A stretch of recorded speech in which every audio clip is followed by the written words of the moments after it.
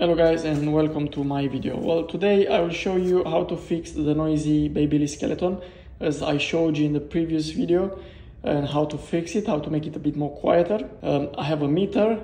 Uh, obviously it's not very very accurate but we can make a difference between uh, both. So you can see there's um, a slightly difference in sound. On this trimmer I changed the, the cam follower uh, a few months ago in the previous video. Let's, let's make a quick test.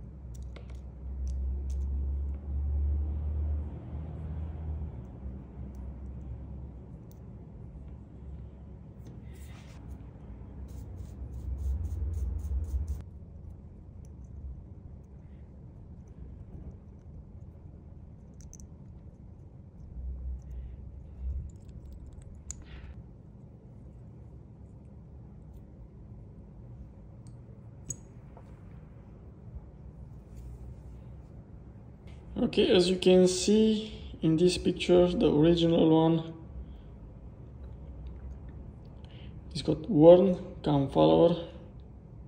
You see these little spots of the spring. It got damaged, so it needs to be replaced. The back plate is not really needed because it's good, so we're just gonna use this cam follower.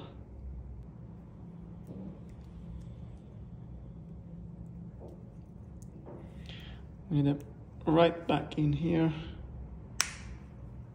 here we go and we got back these little screws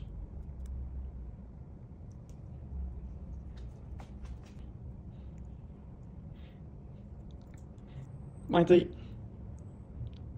So firstly, you just put them not very tight. That's how you zero gap it from here, yeah? So it kind of looks right for me, just tiny bit. I don't want it zero zero gut, you know, I don't want to cut people's skin, so okay, it looks fine for me. I'm gonna fully tighten the screws one by one, little by little, my friends, okay? If it's not straight, yeah, go back and fix it. So lose the screw a little bit and then you can pull it down. I'm gonna put back the spring in the spring holder. Well so we're gonna tighten this screw all right back in. To make it easier to put it in find these two holes place them in then you can screw this. And press press press press my friends. Make sure this one is tight yeah? So it's closed. Yeah. As I said because the cutting blade gets too closer to the corner it might cut the client skin so beware of that. So if that happens we're just gonna have to adjust this blade yeah? That's it from me guys. So we changed the cam follower also on the other Babyliss uh, trimmer.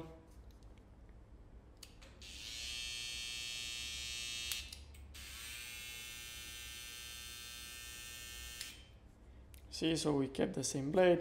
As I said, be careful with the corner. 70.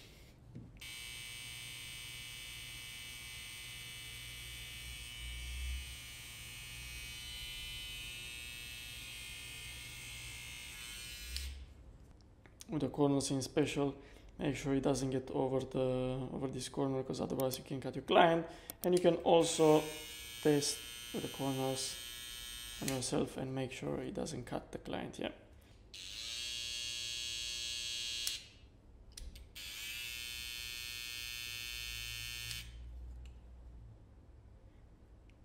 Don't forget to like comment subscribe ask me any questions if you have any more questions. Uh, and yeah see you next time